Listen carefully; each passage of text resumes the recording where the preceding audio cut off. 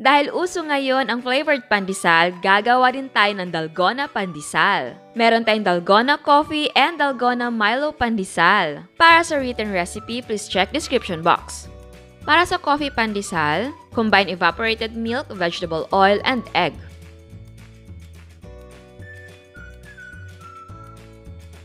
Mix it well. In a separate bowl, combine all-purpose flour, white sugar, instant dry yeast, salt, and instant coffee powder. Haluin natin na mabuti. And then, i-combine natin ang wet and dry ingredients. Haluin natin na mabuti until maging dough ito. Mag-grease tayo ng ating countertop. Pwede mong gawin sa table or sa malaking chopping board.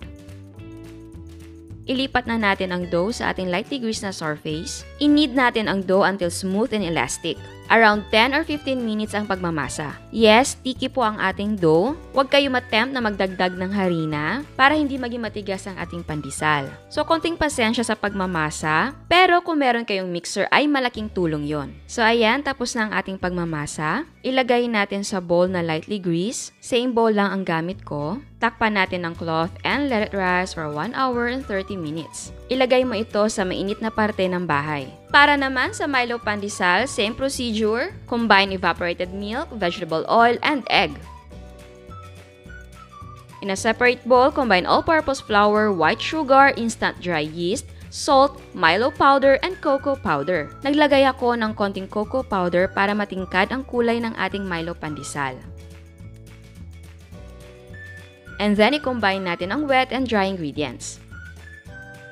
Ilipat natin sa countertop ang ating Milo dough. Kung napapansin nyo, medyo dry ang ating Milo dough compare sa coffee dough, siguro kasi naglagay tayo ng Milo powder. So kung ganyan, magdagdag ka lang ng evaporated milk. Mararamdaman mo naman yan eh habang nagmamasa ka. So again, inid natin ang dough until smooth and elastic.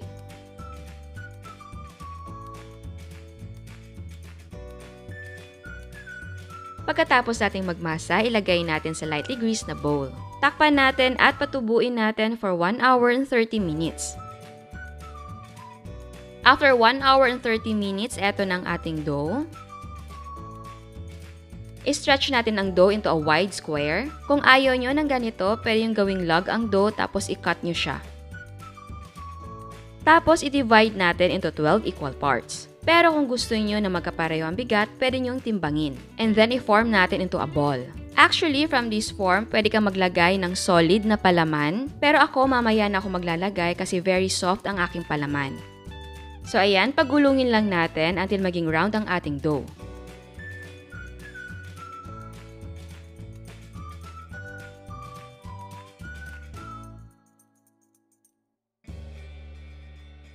And then, i-coat natin ito ng breadcrumbs. Ito naman yung ating Milo dough, so i-stretch natin ito para maging wide square. I-cut natin into 12 equal parts. Again, i-form natin into a ball.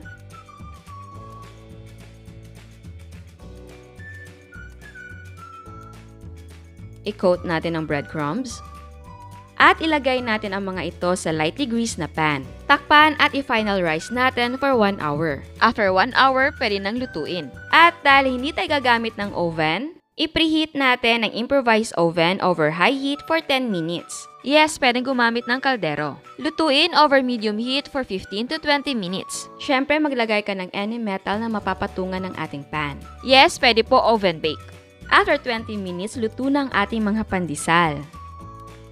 And then, cool bread completely. Ito ang itsura ng ilalim ng ating pandesal. Pero kung gusto niyo na mas brown, kung luto na, medyo lakasan niyo yung apoy at i-extend ng konti ang cooking time.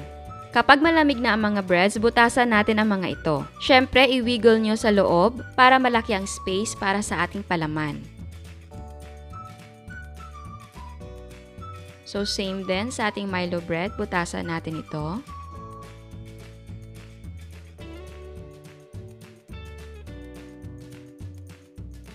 Ngayon naman, gawin natin ang palaman. I-whip natin ang cream on high speed until mag-double ang size nito. I-divide ang cream into two equal parts.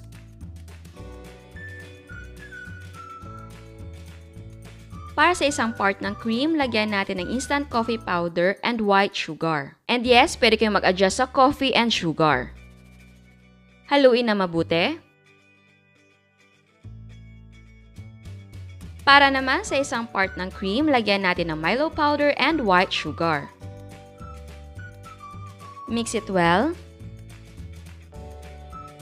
At lagyan na natin ng palaman ng ating mga breads. Inilagay ko ang ating palaman sa pastry bag para mas madali at hindi messy. Ito yung ating Milo. So kayo na ang bahala kung gusto yung marami or konti ang ilagay na palaman.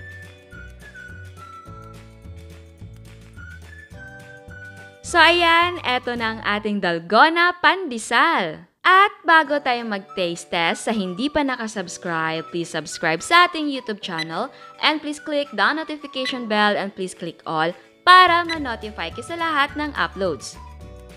So ayan, titikman na natin. Excited ako.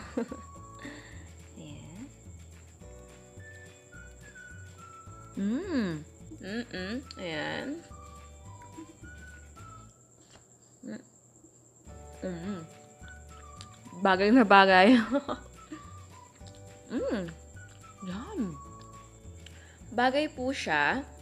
Ah, para sa akin, a bit strong yung coffee flavor. Pero, okay lang.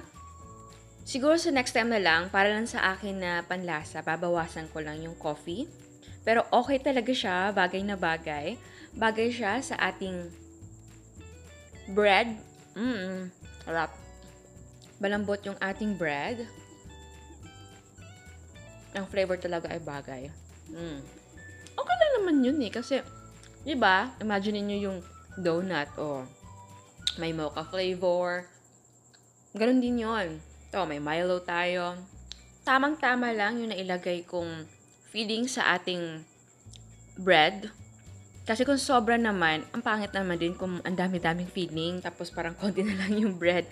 Pero kung gusto niyo talaga na maraming feeling, walang problema. Pero para sa akin, balance lang siya. Tamang-tama yung palaman na inilagay natin sa bread. Mm. One thing, bago tayo mag-proceed sa Milo, which is excited na ako, yung ano, yung, yung bread mismo, may lasa ng konting coffee. Oo, ang, ang sarap niya. Ang galing. Kaya kung gusto nyo na yung ito lang is coffee flavor, yung bread lang alone, tapos yung filling, pwedeng ano lang, plain na cream, or chocolate, pwedeng ganun. Pero pwede rin na, kung gusto nyo, walang ano, walang palaman, yung ito lang yung bread tapos coffee flavor, okay na okay lang talaga. So next naman, yung ating Milo. I think magiging bias na naman ako. Oh my God. God. Yum to the highest level. Ang sarap. Oh my. Oh my talaga. It's a perfect combination talaga. Promise yan. Oh my God. Ang sarap. Ano po itong Milo talaga? Kahit anong gawin mo, kahit anong recipe, Mm. Perfect talaga. Ang lambot ng bread. Ang harap ng palaman. And dito sa bread lang natin, mm, hindi ko masyado malasahan si Milo. Mm, hindi masyado talaga. Or wala. Pero okay lang. Kasi masarap yung ating palaman. Oh my God. Ito mas feel ko, dapat marami talaga ilalagay mong palaman. That's for me. Kasi ang sarap. Mm. Kabayas ko talaga. I think gagawa pa ako ng another batch nito kasi feeling ko mauubos ko to. Wala akong mabibigay sa family ko. Oh my, ang sarap. So, syempre, kung papipiliin nyo ako sa dalawa, I like Milo. Pero, sa coffee lover, ang sa gusto sa mga mocha, mga ganon, you will love this. Masarap naman siya eh. Pero kasi ako, ako tatanungin nyo, na Milo lover, Milo yung gusto ko.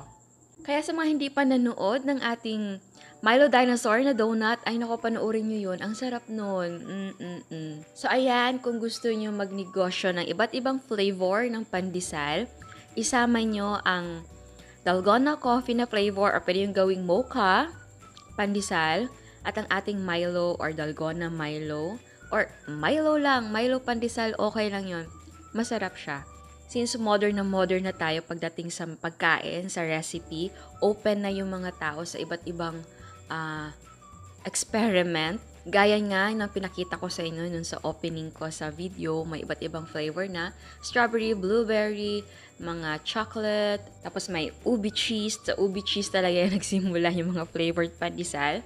Kaya, eto, pwede yung idagdag. Ay nako, ang saya ko talaga ngayon kasi nagustuhan ko lahat ng ginawa ko ngayon na pandesal. Kung ano yung naisip nyo from this ano recipe, pwedeng gumawa ng sarili yung version. So, ayan, sana nagustuhan nyo. Ciao! At eto ang mga prices ng ating mga sangkap.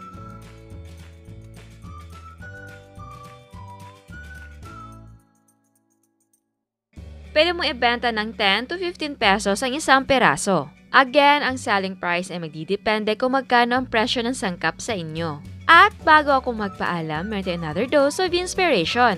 Ito ang ma ni Miss Marie. Meron siyang fudgy brownies.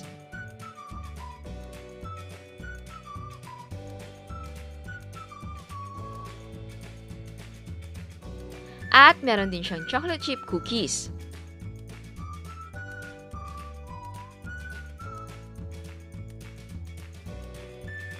Ito naman ang coconut macaroons ni Miss Marian. At meron siyang kuchinta with dulce de leche. Mango Graham Ice Cream Roll by Miss Chris. At meron siyang ice cream cake. Again, I want to say thank you sa lahat na nagpapadala ng mga photos. Kamusta mga buhay-buhay? Bored na ba kayo? Ako hindi naman, nanunod lang ako ng mga movies, tapos nagluluto, nag edit tapos movies ulit. Basta kapit lang tayo mga kapatid, matatapos din to.